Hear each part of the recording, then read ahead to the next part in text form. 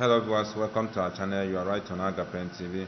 I brought you this powerful message from my Apostle Michael Oropo, the greatest gift that God will give you. I came across this message and it blessed my life so much and it blessed your life as you listen. Thank you. Now, when the outpouring begins, then we enter the second protocol, which is to engage Him. And this kind of engagement is not mechanical. Because when the Spirit begins to move, the first thing the Spirit does is that it stirs hunger. Is that hunger that becomes a phenomenon you see in the territory. Suddenly, everybody begins to gravitate in the direction of that outpouring. People want to see, people want to know what is happening. People be every time there's an outpouring, it affects government, it affects economy, it affects the entire population because there's a hunger in the land. Suddenly, everybody begins to seek God. The guy who is sitting in government house wants to attend the prayer meeting. When I read about the way, the revival of Wales, Evan Roberts, they, they, they told us they had to retrench police officers because criminals reduced in number. Even thieves became hungry for God. They could not play the World Cup because people were no longer gravitating in the direction of football. Everybody wanted to have a taste of God. And so when the outpouring begins, God begins to stir hunger. Hunger in the hearts of men. And I tell you, apart from eternal life, the second gift the Holy Ghost will bring to you is the gift of hunger. If you don't have the, if you don't have hunger, whatever God bets will die. That's why even a child, the first gift God gives him after life is hunger. When a child is born, he begins to look for what to eat. Because if that child doesn't eat, that child will die in that hospital.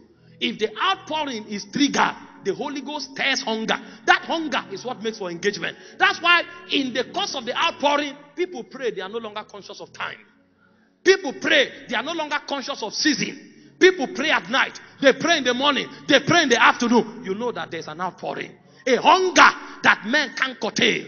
A man will sit at home and something is pulling him to the prayer house. He said, As the deer panted after the water brooks, he says, So my soul longeth after thee. Everywhere becomes a dry and a thirsty land. The only thing that matter is God's presence. And like the psalmist, you will say, Show me thy glory. Let me see you, even the way I saw you in the sanctuary. That's when we will leave our philosophies behind. We will leave our theology behind. And everybody will want to meet God. Where is this one who dwells in the secret place? Like Moses, the Bible said God hid himself. Moses was still finding him. He said God dwelled in deep darkness. And he said Moses stepped into that deep darkness where God was. It doesn't matter anymore. Anywhere God is, that becomes your destination. A hunger that you cannot explain. Only God can satisfy you. Those passion now opens the second layer, which is access. As men begin to press into God, what God does is that He begins to open the chambers of the Spirit. It is those chambers we enter that make us begin to have encounters that empower us for the miraculous. And so you'll find a vulcanizer who society considered to be useless. Suddenly, while he's praying, his eyes open and he hears a word. You will feed your generation. Because he heard you will feed your generation, a wisdom will come to him. And he will start something that will turn him to a millionaire. A horn has been exalted. And from a vulcanizer, he can become a wealthy man that become a holder of the biggest charity in the nation. You will ask yourself, what happened when the Spirit be poured upon us from on high? The scripture will now become real to you. You will find a young boy who went to that place of prayer. Suddenly, we will sense oil on his hand. He has entered access. He moved from hunger to access. And that oil on his hand, even him doesn't know what it is. But he came home and they say somebody was barren and he touched the person. He was not even praying. And the person will sense the movement. And before you know, three weeks later, she takes him. He goes home, they say somebody can't walk. He touches the person, and the person starts walking. And you are wondering, what school of theology did you go to? Who taught you? Who taught you the doctrine of healing? There are things that are deeper than doctrine.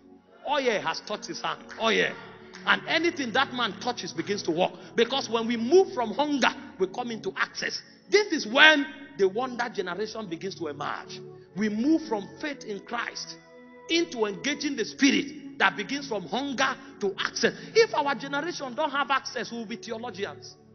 Our world is not looking for people who can explain Bible only. They want people who can prove Bible. And for us to prove Bible, there must be access. Have you prayed to that point where they touch your eyes with fire? So that when you see, your sight becomes like radiation. You can see beyond the wall because something touched your eyes. Did you not read about Isaiah? He said, In the year that King Uzziah died, I saw the Lord. And the moment he saw the Lord, he began to enter the chronicles of God concerning the Messiah and utter things that were not written before him. How did he know? Something touched him. Something touched him. Our generation needs to be touched. People graduate from Bible school with pride. They come quoting Greek and Hebrew. It's good for teaching, but the generation is not moved by the language you speak. Greek is like English, it's like Latin. There are many languages. The only thing the world is looking for is power. Is power. But for power to happen, we must journey through hunger into access. Those your eyes can see things beyond the natural.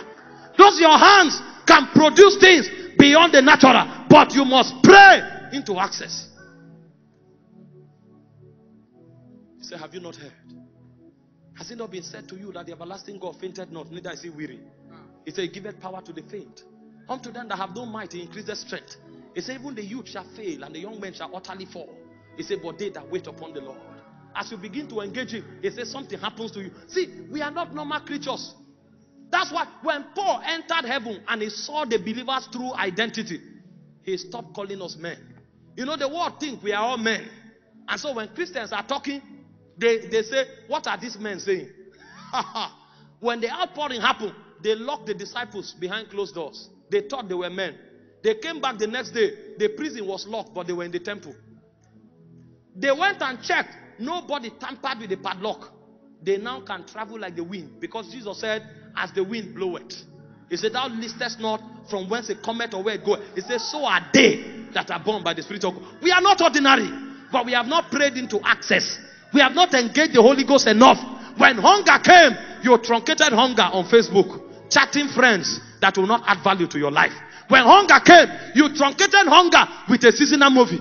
When hunger came, you truncated hunger with gossip. When hunger came, you truncated hunger with bitterness. And the devil knows that something is starting on your inside. And they gang up three people and they gossip you. Instead of you to block your ears, you went and you were asking, What did she say? What did he say? Who cares what she says? Who cares what he says? I am traveling somewhere.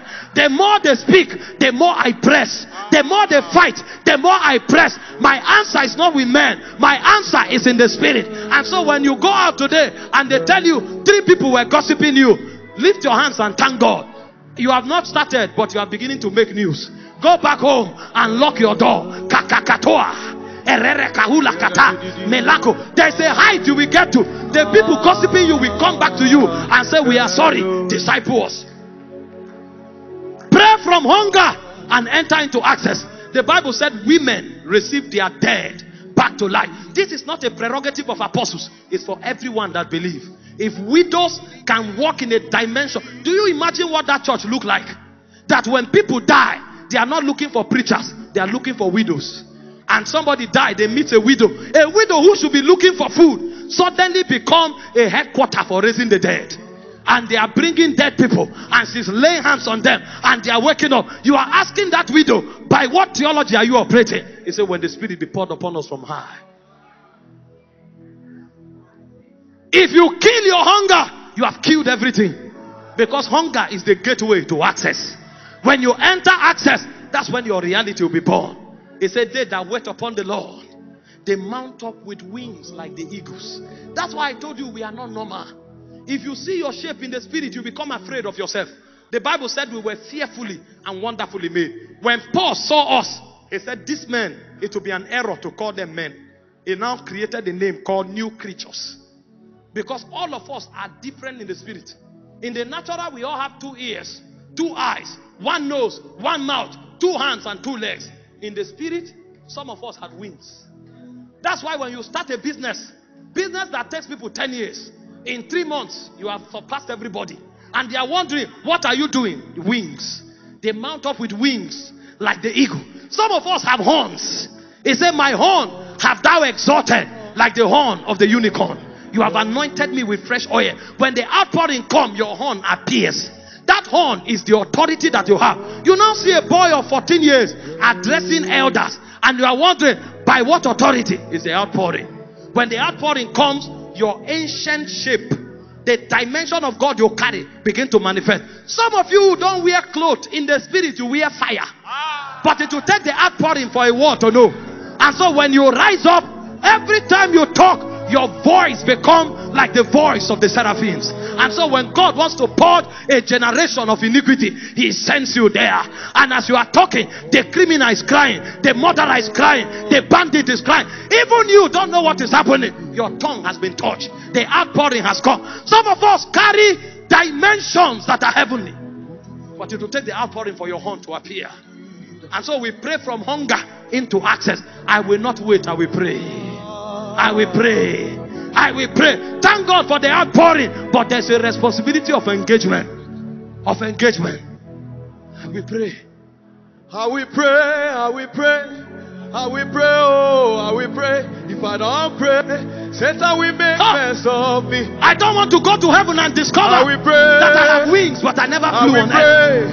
I don't I want to go to heaven and oh. discover that I I, have a pray. garment of fire, I but I never pray, burned. Satan will make mess Yele of me. kakatona. Baraka silakate. I will pray. I will pray.